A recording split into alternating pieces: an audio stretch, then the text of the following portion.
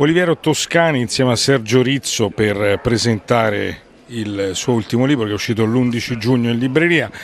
Caro Avedon, la fotografia in 25 lettere di Toscani ai grandi maestri. È un esercizio per parlare di fotografia, visto che la ormai, ormai la fotografia diciamo, è un'arte che sanno fare tutti. Del resto tutti sanno scrivere, no?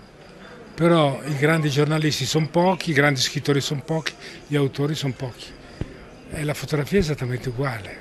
Non è perché uno fotografa è un fotografo, assolutamente no.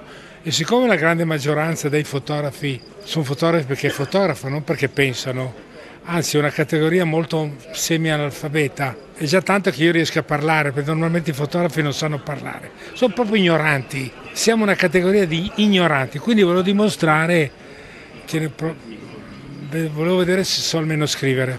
Allora ho scritto un libro. E com'è stato il suo esercizio? Faticosissimo. Faticosissimo. Io però sono sicuro di scrivere meglio di come uno scrittore fotografa.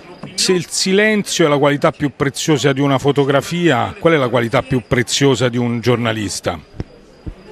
Onestà.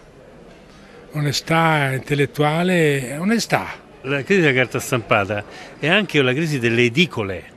Le edicole stanno morendo, così come le librerie indipendenti, attenzione, eh, una progressiva mm, diminuzione dei fatturati legati a dei fatti che sono dei fatti. Da una parte la stampa perché c'è internet, quello che sappiamo, dall'altra parte eh, le, le, le, librerie perché hanno la concorrenza di Amazon e delle grandi catene. Quindi diciamo è un sistema che un paese serio, civile e soprattutto un paese che dovrebbe essere la culla della cultura occidentale come l'Italia farebbe bene a porsi e non con dei provvedimenti estemporanei. Bisognerebbe concepire un piano organico per sostenere la cultura. Basta pensare che tutti i distanziamenti del settore cultura in Italia sono, mi pare, sia un quinto di quello che stanzia la Francia.